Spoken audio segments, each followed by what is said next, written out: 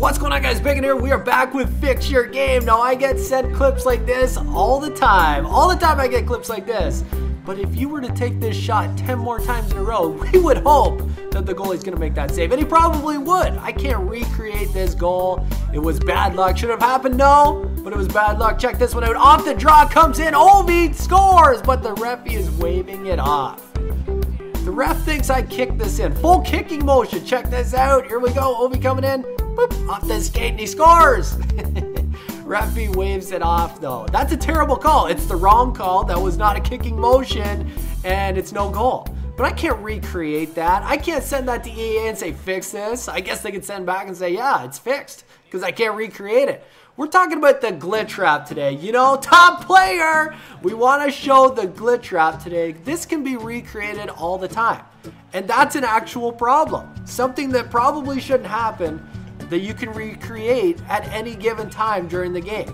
Watch the goalie bounce off the post. That's the biggest problem here. Look at this. Boom. Why is he bouncing off the post while the player is behind the net?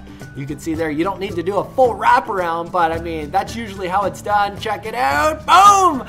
My critic said, Bacon, you're just whining because you can't do it. Well, I'm going to show you a whole bunch of clips here of me doing it. But watch the goalie. Bounces off the post. Why is he bouncing off the post there?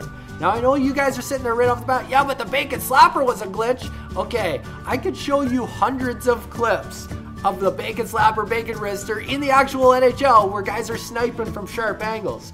But if you could show me one clip, just one, doesn't have to be two, doesn't have to be ten, just one, where the goalie bounces off the post as the player's still behind the goal line. Look it, I'm sniping from behind the goal line. I just kind of fake him out.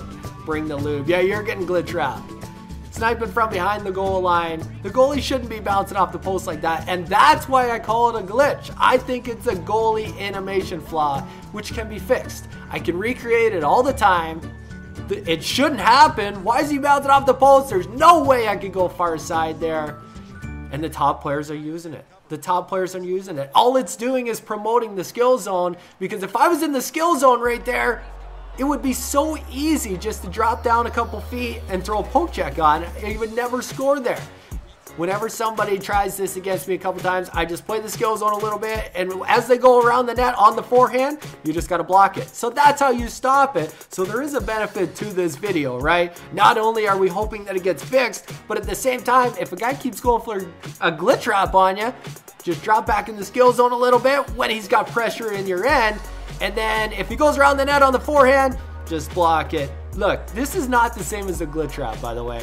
I'm coming way out there and sniping short side. That makes sense, because I could have shot far side there. Same with this one here. Watch this. This isn't a glitch wrap going five hole. Is it a little bit frustrating when that happens? Yeah, sure it is. But he is letting me walk right out front of the net here. Right out front of the net.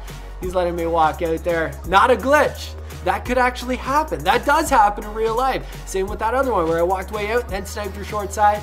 But when you're sniping from behind the goal line and the goalie's bouncing off the post like that, it just doesn't make sense. There's no reason for the goalie to do that bounce out. Maybe they're trying to stop the old bacon slapper. I don't know. I don't know what the reason is, why they did it, what they're trying to shut down. But like I said, I just think it's a goalie animation flaw. Anyways, if you guys support that this right here, the glitch wrap should be fixed for NHL 18, be sure to hit that like button for me. We'll see you guys soon. Top player!